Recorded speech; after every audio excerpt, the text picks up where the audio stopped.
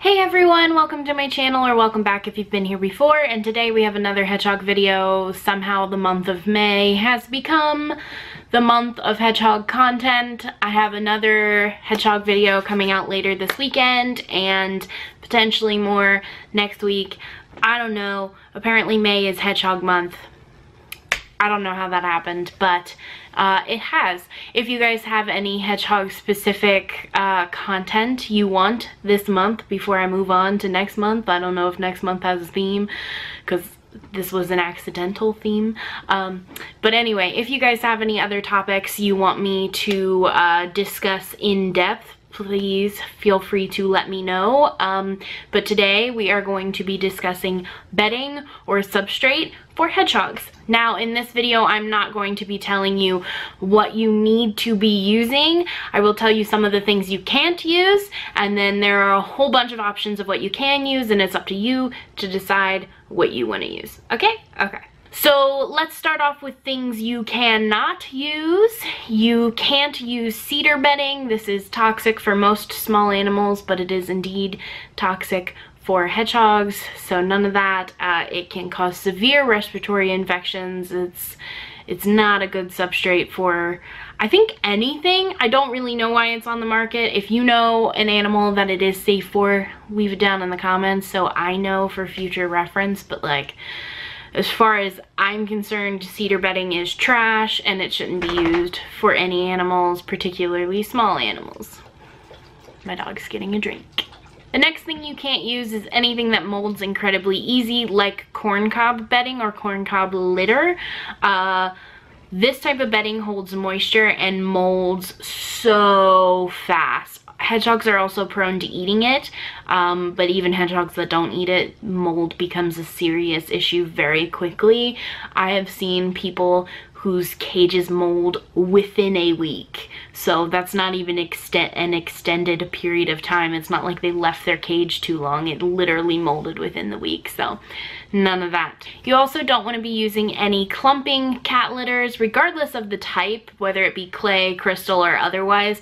Anything that clumps is a no-go. You really don't want it to get stuck around their feet, particularly uh, because they go to the bathroom where they walk and run and you really, really, really don't want to be picking clumps of cat litter off of your hedgehog's feet. That can cause them damage, that can cause them to self-mutilate.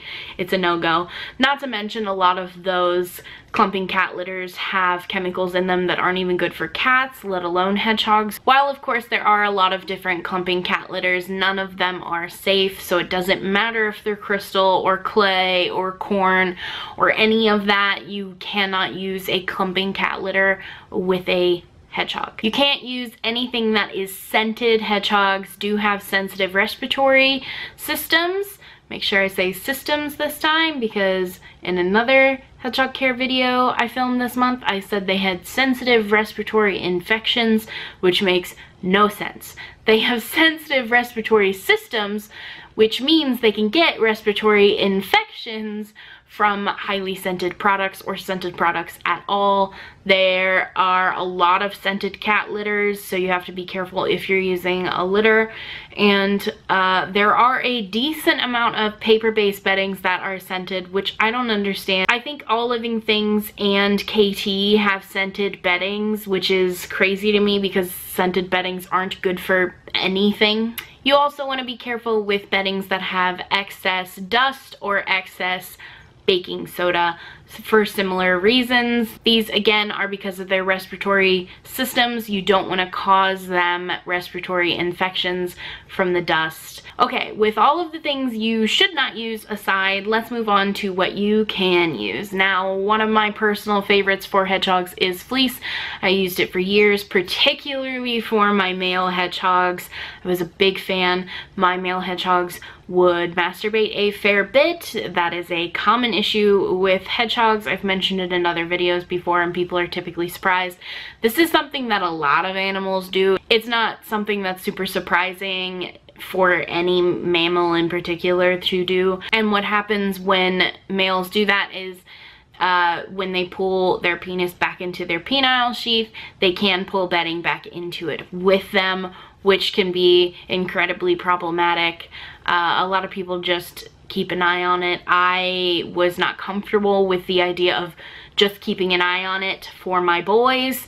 So they were both on fleece. I have a female now who is very, very messy, but she doesn't burrow. So I have her on bedding currently uh, because of the mess, but I think I might switch her to fleece because if she's not going to burrow, um, which is the main benefit of bedding, then there's no point in me producing that much waste with litters and things when I already have fleece because I used it for years that she can use. So Anyway, if you want a more in-depth pros and cons of fleece specifically, I will uh, have it linked in the cards or in the description. I will have it linked somewhere for you because I did do a video all about the pros and cons of fleece and whether or not it's right for you. So moving on past fleece, there are a whole bunch of different particulate beddings you can use.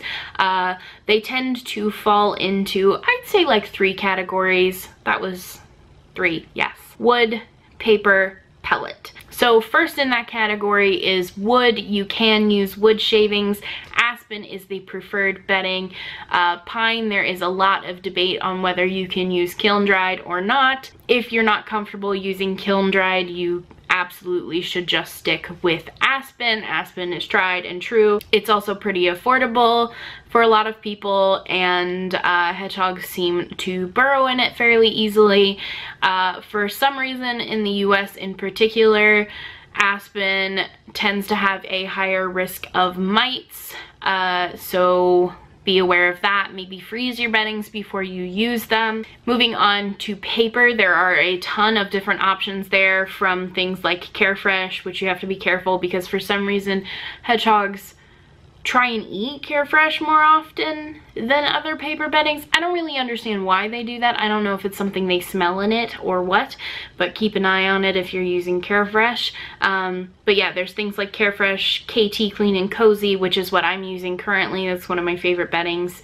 Um, or I don't know, All Living Things has a brand. There's all kinds of Boxo. I mean, the brands are endless. Those are just the brands I know of in the US. I mean, you can get paper-based beddings elsewhere for incredibly cheap. I know in the UK they sell like Fitch and I don't know if it's still super cheap or not, but it used to be crazy cheap. Point being, as long as it's unscented and it doesn't have a ton of baking soda in it, there are endless options when it comes to paper-based beddings. You can do pretty colors and all kinds of stuff. I will say white is the easiest to spot clean. Um, so if you're looking to not do like full clean outs every time you need to clean, I love using white bedding because I can literally see the dirty areas and scoop those out. So like I said, paper-based beddings, choices pretty endless there. Um, you can even do cage themes if that's your jam. And then the third category is kind of a debated one, and that is pelleted litters, both paper and wood-based. Um, these are really popular among breeders. Now, I am not a fan of pelleted litters all over the cage. I don't think they seem very comfortable. Now, I am not a hedgehog and I couldn't tell you what they feel on them. I'm I'm just speculating. Um, but they don't seem like the most comfortable option. Hedgehogs can't burrow in them either. And I, at least for the wood stove ones, when they get wet, they get quite dusty. So I feel like if you're gonna be using a bedding, you're better off with paper or shavings over pelleted. I know a lot of people like the pelleted more because uh, it's fairly cheap, but for me, if you're gonna be using a bedding, you should at least be giving them the option to burrow. Um, I, I think you should be giving them the option to burrow regardless of what you use, including with fleece, but that's another, that's another topic for another time. But anyway, I, I think pelleted litters are better in litter trays. I really, really love using pellets underneath a wheel. I think they make for great litters. I'm not a huge fan of them all over the cage. Some people are. If that's your jam, I'm not gonna say no, as long as they're safe. Um, but that is the, the sort of third category, and I think the cons more so outweigh the pros for me with that one because the biggest con of fleece in my opinion is that they can't burrow so I'm not going to switch to a substrate that they can't burrow in either because I could just use fleece. Anyway, I think that's everything. If I missed something, please feel free to leave it down in the comments for all of our people here who are learning about hedgehogs and want some more information. Uh, thank you guys so much for watching. Please check out my hedgehog care playlist because there are so many things that I have covered, not only recently, but over the years of having this channel that are really helpful to new owners and maybe old owners, I don't know. So anyway, thanks again for watching and I will see you all in my next video, hopefully. Bye!